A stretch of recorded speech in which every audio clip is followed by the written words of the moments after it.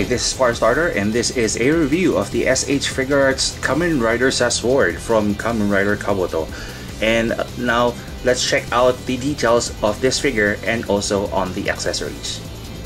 The SH Figuarts sword is received with a scorpion motif more evidently on his head. While some joints share with Kamen Rider Kabuto, the upper body is tailored to the main motif. Luckily, what I got doesn't have that bow-legged feature, a common problem with other Kabuto figures before it was reissued. Highlights of the figure include a scorpion tail protruding on top of his helmet, a lime green set of compound eyes, and a sleeker A-frame body that is a core base of the SH Figuarts half a decade ago. What he comes with are a pair of open spliced hands, a staple for most SH Figuarts at that time, a pair of holding hands for his transformation sword, the Sasword Yaiba. the Sasword Zecter is already attached on the sword. Though it lacks some minor details, the combination of both is just the right scale with the figure. You can also park the sword using a holster that is pegged just above the knee. Good thing is that this will not hinder in the articulation of the figure.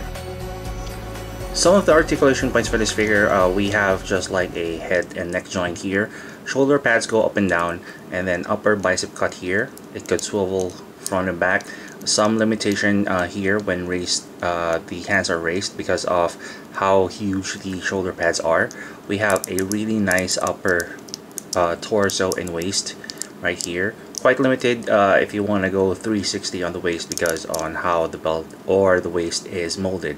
And then wrist joints and elbow joints just like the old SH Figuarts and then hip joints here quite nice. And then knee joints here.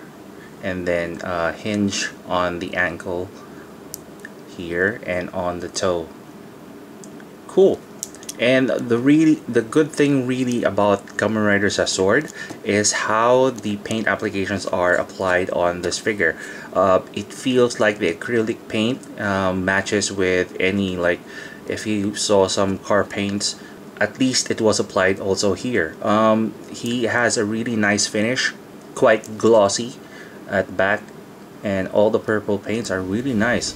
I'm really digging the figure Sasword lacks the extra hands needed for one of the esteemed riders in the Kabuto line unlike today's SH Figuarts offerings. But what really sets this apart is the acrylic purple paint that was applied, giving that wet finish that is highly appreciated by collectors like me. That is why up to now, this is one of the best sought after figure and if you check online stores, you'll be amazed on how much this costs. Almost 300% what it was in 2009. For a figure that was released almost a half decade ago, Sasword stands among the best and one of Bandai's best figures ever made in the SH Figuarts line. And that is my review of the SH Figuarts Kamen Rider Sasword. If you want to know the possibilities and details for this figure, check out the photos at the end of the video and subscribe to my blog for the full written review. This is Firestarter. Thank you very much for watching and keep it here for more toy reviews.